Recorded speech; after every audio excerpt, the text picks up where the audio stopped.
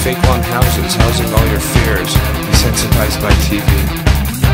Overbearing advertising, god of consumerism, and all your crooked pictures looking good.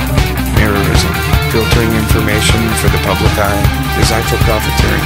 Your neighbor, what a guy.